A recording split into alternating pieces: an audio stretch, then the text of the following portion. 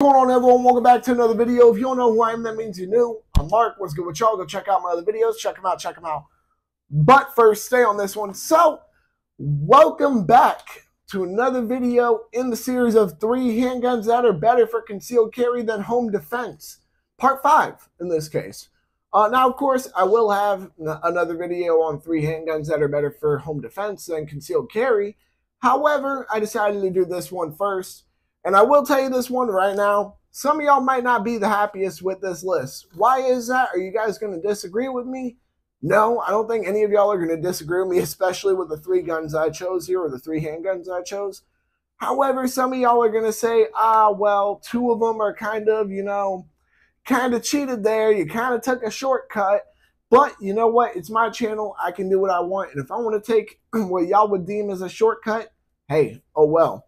So, for starters, we're going to start with the Glock 42. The Glock 42, a 6 plus 1 round capacity 380 from Glock, of course. And I mean, a great overall concealed carry gun. Very, very small. It, it, would definitely be great for a deep concealment situation. I've seen several women who are, you know, they love their Glock 42.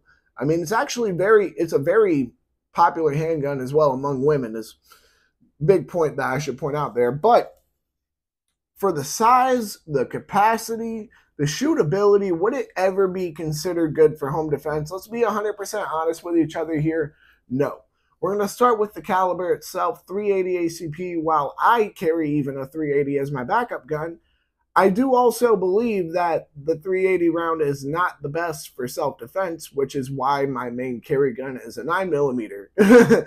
You know, so I felt that one should have been obvious. I felt that should have been put out there immediately. While 380, yes, it can do the job.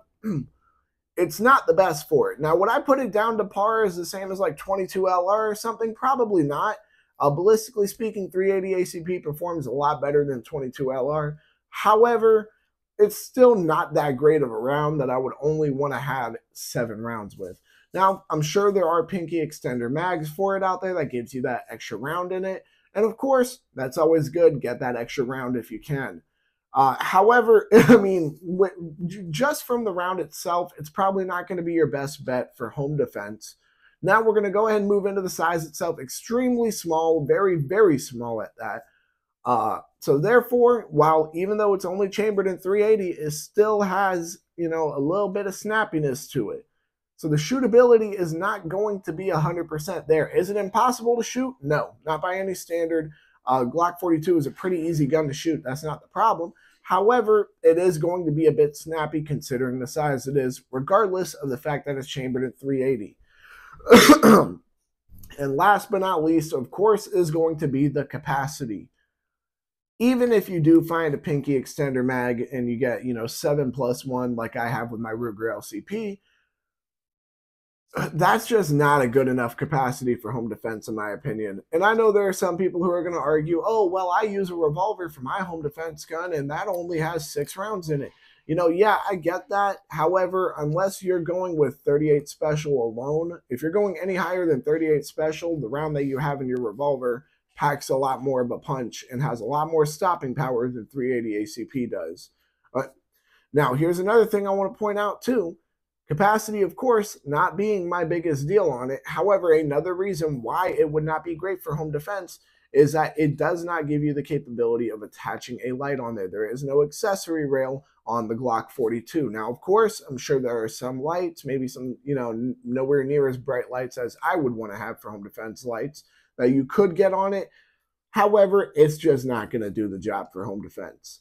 Now, I'm sure some of y'all are wondering when are we going to get into the part where we're going to think that you cheated? You know, you took an easy way out. Right now, the second one on the list, moving on from the Glock 42, we have the Glock 43. I knew some I know some of y'all are probably sitting there like, "Dog, really?" I knew this was going to happen. Like I know some of y'all are just sitting there like mad thinking, "Yep, I knew it. I knew it. I knew it." But I had to sit there. If I'm talking about the Glock 42, I have to talk about the Glock 43 as well. Some people may try to call it, you know, its bigger brother. I wouldn't call it that. I would probably call it its stronger twin, if you would. Uh, the Glock 43 has the same capacity as the Glock 42, is pretty much, pretty much, notice how I said that part, pretty much the same size as the Glock 42. There might be some minor differences if I'm not mistaken. Except being, except instead of being chambered in 380 ACP, it is chambered in 9mm or 9x19, 9mm Parabellum, 9mm Luger, however you want to word it. It is chambered in 9mm instead of 380 ACP. now, does this make it a better gun for concealed carry? In my opinion, yeah. Yeah, 100%. Because even though it is an extremely small gun, even though 9mm has more recoil to it than 380 ACP, and the gun will still be snappy, 9mm still does a better job of defending yourself than 380 ACP ever will. That's like somebody trying to make the argument that 40 Smith & Wesson will do a better job at stopping a threat than 10mm will. It's just not happening. That's just not how the rounds work. 9mm, ballistically speaking, will outperform 380 ACP any day of the week. Now, is 9 millimeter a good enough caliber to defend your home with? Yes, absolutely. So you might be wondering, okay, where are we going to get into how it's not so great for home defense, but what makes it so good for concealed carry? Obviously, the size is going to be a big factor, of course. The capacity that you get is the same capacity as the Glock 42. So you get a 6 plus 1 capacity, you get 7 rounds as a whole. Once again, with the size, it is great for deep concealment. Uh, these guns that I'm going to mention today, you will notice, are very good for deep concealment, not just your regular concealed carry or everyday carry. Uh, but with the Glock 43, once again, no accessory rail. You get the same capacity as you would with the Glock 42. The only difference that I would argue makes the Glock 43 better than the Glock 42, obviously, is going to be that it is chambered in 9 millimeter. Once again, you know, there there is no issue with operating the Glock itself. However, its shootability is going to be a bit on the rough side because of how small it is, the round it's chambered in. Even ignoring the round it's chambered in, once again with the Glock 42, with how small it is, there is a tiny bit of snappiness to it. So in 9mm, you're going to expect a little bit more snappiness. So there are several reasons as to why the Glock 43, just like the Glock 42, is not so great for home defense. But I think talking about both of them, covering them both at least in one video, kind of did a bit more justice here on this little shortcut, as some might call it. And you might be wondering, well, why does he keep calling it a shortcut? Because I call it a shortcut. So it's not like you guys are just sitting here, oh, well, you took a shortcut and I'm laughing about it. I'm calling it a shortcut even. Next, third. This one is a uh, It's an interesting gun. It's one of the guns of all time. How about that?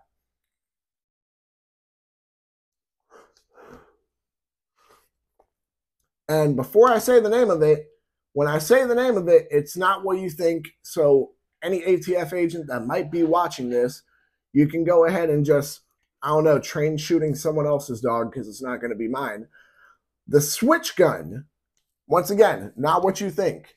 Now, with in today's day and age, unfortunately, because of all the the, the hooliganism and the crime that's going around, uh, when people hear the word switch and they hear the word gun, they're thinking of a Glock with a switch on it.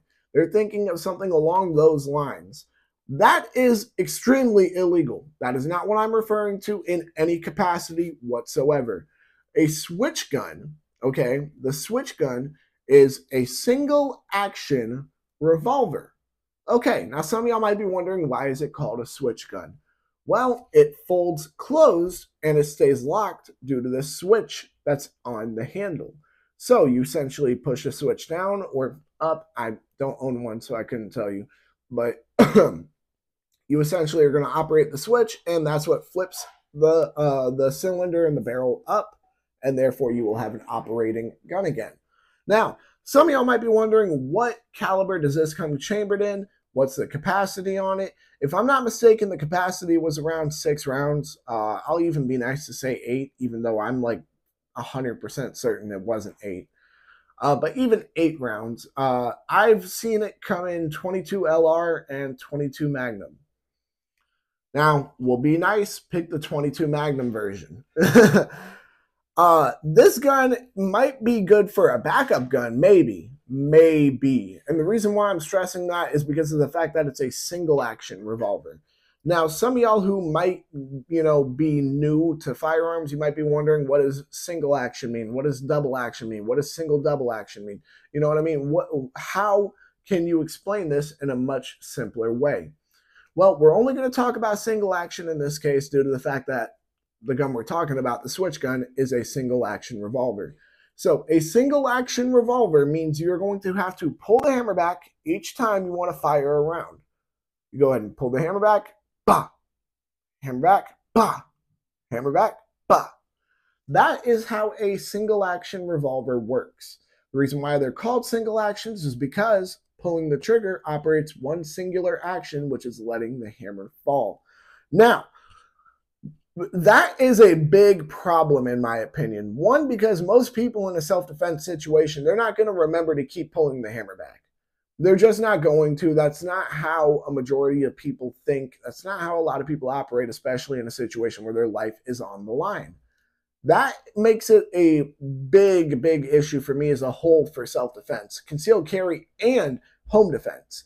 Now, does that mean this might not be the worst backup gun?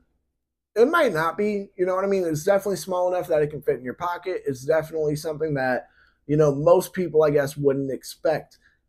However, its capacity, its caliber, I mean, just how the firearm operates itself, beyond not making it too great for concealed carry, it makes it truly awful for home defense. I'm going to get into it.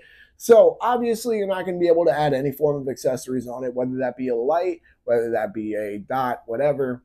And I actually haven't even talked about the fact that the Glock 42 and the Glock 43, unless unless I'm unless I'm mistaken here, I haven't seen any MOS versions of them. But regardless, uh, the switch gun you can't put any accessories on it, uh, so that's really not great for a home defense gun. You at least want a light on there so you can see what you're shooting at.